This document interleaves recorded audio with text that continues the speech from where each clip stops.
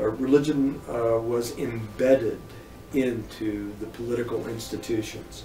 Religion is embedded in the household, which is also a political institution.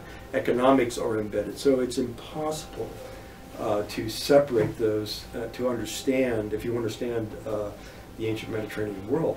And I would suggest that's also true of uh, historically.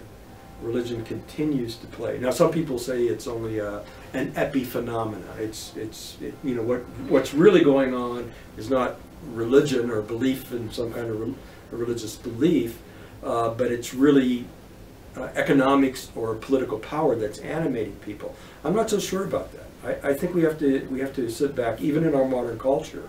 You know, is is uh, what role is religion playing here, for good or for bad?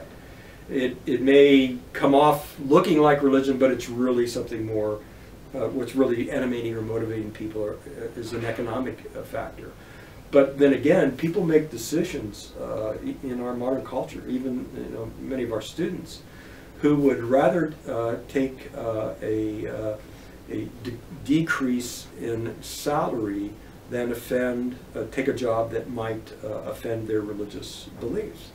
Now, a lot of people don't think, you know, it, that works that way in the world, but it still does. And uh, so I think, again, it's, it's very difficult to, to separate. Now, there, there are times even that phenomena where it looks religious or people are using religion, but it is really more about politics or economics.